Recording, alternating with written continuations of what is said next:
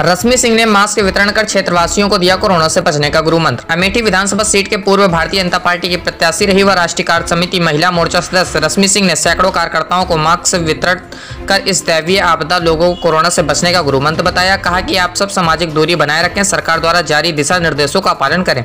Mask वितरण कार्यक्रम में रश्मि सिंह के पीआरओ दिनेश सिंह के साथ त्रिभुवन दुबे नरेंद्र दुबे, गौरव पांडे, राजपति सिंह प्रधान, श्याम बिहारी सिंह, ब्रजमोहन सरोज आदि उपस्थित रहे। अमेठी जनपद से अखिलेश तिवारी की रिपोर्ट। कोविड 19 की जो महामारी चल रही है, इसमें बस्ती जनपद एक संवेदनशील जनपद के रूप में उभरा है। मैं जो मेरे चिकित्सीय परामर्शदाता हैं, उनसे जो हम लोग को राय मशुरा मिला है, उसके हिसाब से कोरोना से बचाव ही सबसे बड़ा उपचार है।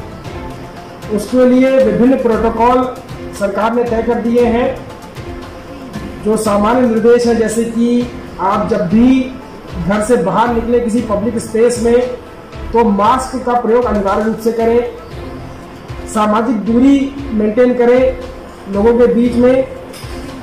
जो गंभीर रूप से बीमार लोग हैं जो बुज़ुर्ग जन हैं, हमारे जो बहुत छोटे बच्चे हैं, ये यथासंभव घर से बाहर ना निकले और अगर निकले तो सिर्फ़ चिकित्सीय कारणों से निकले।